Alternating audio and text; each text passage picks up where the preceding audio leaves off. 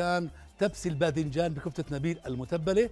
شوينا كفتة نبيل المتبلة بالفرن على حرارة 180 لمدة نصف ساعة. بعدين شوينا الباذنجان وحضرنا صلصة بندورة بيتية. عملناهم طبقات طبعا ودخلناهم على الفرن لمدة حوالي 45 دقيقة على حرارة 180 مئوي. يقدم على الأرز بشعرية وصحتين وألف عافية. تبسي الباذنجان بالكفتة بكفتة نبيل المتبلة. كيلو كفتة من نبيل ثلاثة حبة باذنجان مقطعة مشوية بصلة مفرومة ثلاث حبات فلفل أخضر حار مفروم ملعقة ثوم مفروم أربعة كوب صلصة بندورة بيتية ربع كوب من الزيت وعندنا كمان ملعقة من البهارات المشكلة ملح وفلفل. كفتة نبيل آه، ثلاثة في, في واحد. كيف؟ يعني بنقدر ناخذ حبتين من كفتة نبيل okay. بمقلاة صغيرة نفقس عليها بيضة. okay. ممكن نسويها سندويشات. صح. شوية مايونيز شوية كاتشب بطاطا مقلية بخبزة حمام بتشهي. وكمان ممكن نسويها طبق رئيسي. صح. بالبندورة بالطحينية اللي بدكم إياه. إذا كفتة نبيل ثلاثة في واحد. واحد. واليوم عندنا التبسي أكيد. وأول شيء خلينا نتعرف على كفتة نبيل. عبارة عن كفتة مصنوعة من لحم العجل ومضاف عليها جميع أنواع المطيبات واللي إحنا بنحبه الطعم اللي إحنا بنحبه. يا سلام. هاي كفتة نبيل. طبعا شوي بالفرن على حرارة 180 20 دقيقة أو ممكن نشويها على الفحم حتى. إذا كنا مثلا في حديقة البيت وحبينا نشوي نحطها بالشبك بنشويها على الفحم تطلع قصة يا سلام. عالمية. يا سلام. طيب. إذا خلونا نبدأ في تط- تطبيق الطبق وكمان رح نقدم جنبه طبق رز مقدم من كرم. أرز بسمتي فاخر جدا حنسويه مع شعرية حتى يشارك هالطبق. فأنا هون طبعا منتجات نبيل أو كفتة نبيل المتبلة شويتها وجاهزة. جاهزة. طبعا معارضنا جاهزة لاستقبالكم من الصبح من الساعة العاشرة وحتى الخامسة مساء في عندنا طبعا اثنين شوروم موجود واحد في شارع عبد الله غوشي والثاني أول طريق المطار. طيب إذا أنا عندي هون الكفتة شويتها وجهزتها وعندي الباذنجان يزيد. أنا بحب الباذنجان أشوي. حلو. طلعوا. هيو مشوي بالفرن. بفرن طبعا إلبا الإيطالي بجنن بيطلع شايفين؟ هيو. سلام عليك يا شيخ. طيب اذا بنجيب هالصينية. طبعا صينية الومنيوم عادية. لها عدة استخدامات هاي. آه أنا بحب أطبخ بصينيه الومنيوم بس في البداية خلونا هيك نحضر لنا شوية صلصة بندورة بيتية لهالتبسي.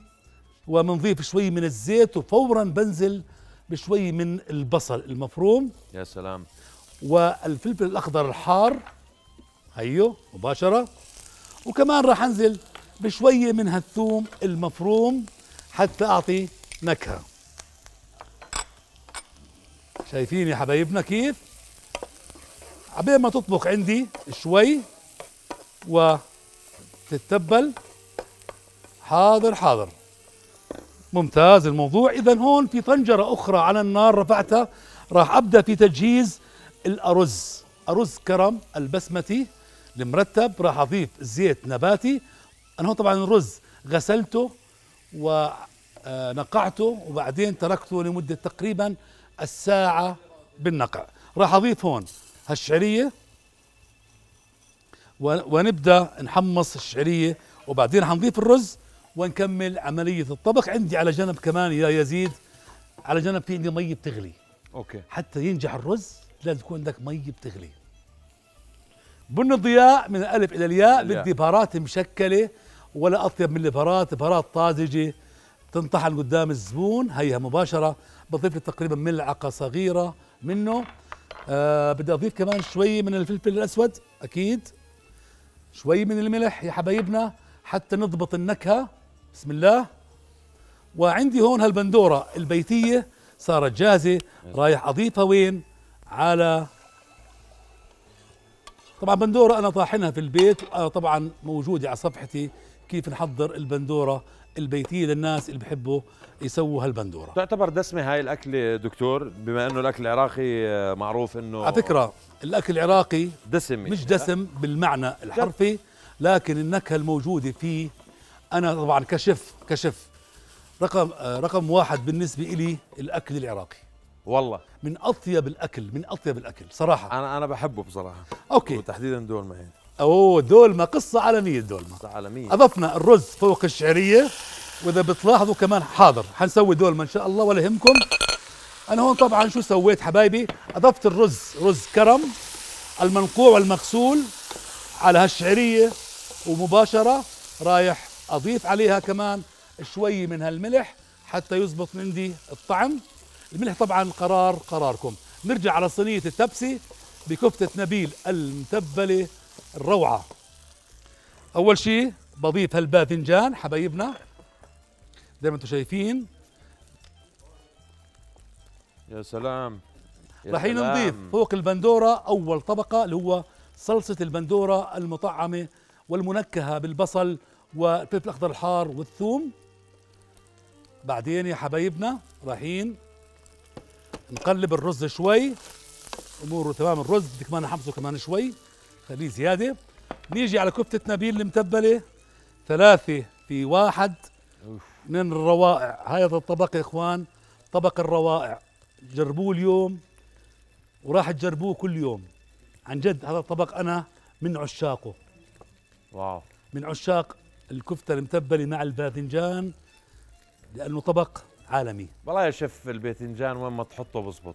خلينا نكون واقعيين مع بعض. آه والله إيطالي عربي مقلي مشوي مفعوص مقلوبة. مش مقلوبة يعني حتى لو بالملوخية بنحط بيطلع زاكي. إلا هاي إلا الملوخية يا زيد. إلا الملوخية يا زيد. أضفنا كمان الطبقة الثانية. الآن بدنا نضيف الطبقة إن شاء الله الثالثة من الباذنجان أو الثانية. بسم الله ما شاء الله. أكل بشهي بإذن الله. وطيب تقبل الله الطاعات. وإن شاء الله يكون رمضان آمين يا خير رب. وبركة عليكم يا رب كالعادة. آمين يا رب. إذا هون طبقة من كفتة نبيل المتبلة وطبقتين من الباذنجان. فرني إلبا الكهربائي على حرارة 180 مئوي بدي أضعها 45 دقيقة تتسبك. ها أنت سمعت المصطلح؟ تتسبك؟ تتسبك. سبك له. يعني تنطبخ على نار هادية حتى آخذ من كل هالنكهات. رزي صار جاهز ولازم أدير عليه المي. امم بسم الله. بسم الله. سامع الصوت؟ والله سامع وشامم وشايف هذا هو الصوت اللي أنا بحبه.